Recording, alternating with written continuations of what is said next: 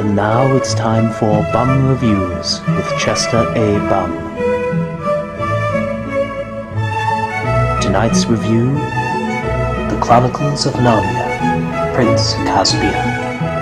Oh my god, this is the greatest movie I've ever seen in my life! There's these kids, and they're at a train station, and the train station turns into a fantasy land! Train stations will do that. I had a train station that turned into a fantasy land. Of course, I was smoking something probably illegal. And there's lions, and tigers, and bears! It was kind of like being in The Wizard of Oz, except with bloodshed. And there's this mousy, he's so cute! And he sounds just like that stand-up comedian. What's his name? Um, um. Carlos Mencia! Wait, no, that's not it. Eddie Izzard! He sounds like Eddie Izzard, who's kind of like Carlos Mencia, Except that he's British, he likes to wear dresses, and he's funny. and the name of the lion is Assland! They named him after a world populated by asses! What kind of a name is that anyway? It's like calling a giraffe Butt Kingdom. It makes no sense. And there's dwarves! They got dwarves in it! And their names are Grumpy, uh, Grumpy, and, uh, Grumpy.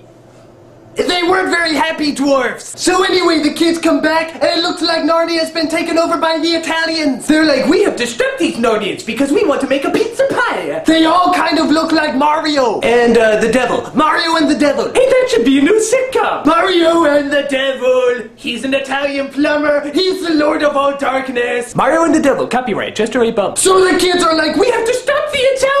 So they take out their weapons that Santa Claus gave them in the first movie. Why is Santa Claus handing out weapons anyway? That's kind of messed up. Is he like gun crazy? It makes no sense. Santa needs help. And at the end, there's this big battle with catapults, swords, horses. And a badger. They have a badger in the battle. That's crazy. No. That's Narnia, bitch! And at the end, they're trying to drive them to the river, and this big freaking watery thing pops up! And I was like, oh my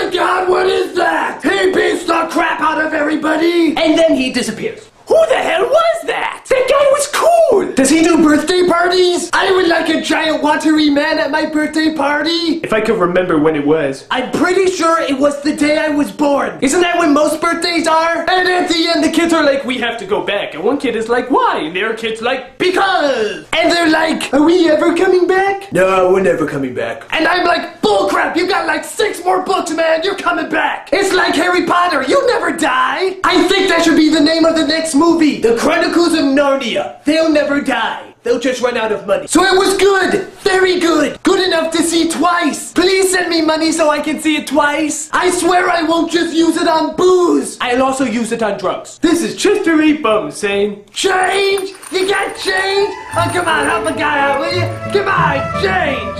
Hey, that Obama guy wanted change, and I bet you gave him a nickel.